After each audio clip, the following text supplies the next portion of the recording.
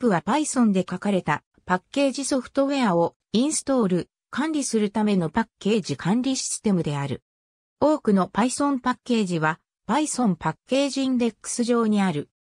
PIP は Python 2.79以降、Python 3.4以降からデフォルトで付属するようになった。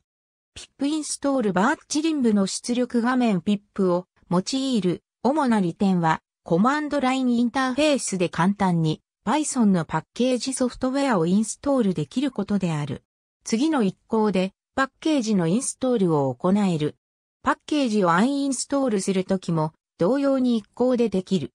PIP で一番重要な機能はファイルに必要なパッケージのリストとそのバージョンを書いておけば簡単にパッケージ管理を行えるという点である。この機能は他のコンピュータや仮想環境に同じ Python の環境を用意するときに非常に役に立つ。この機能を使うには適切なフォーマットで必要なパッケージを requirements txt ファイルに書き、次のコマンドを実行すればよい。また pip は sdist をインストールできる。この際 setuptools 以外のビルドシステムを PyProject トムルに指定できる。pip は Heroku が提供しているような Web ホスティングサービスをサポートするためにも使われる。ありがとうございます。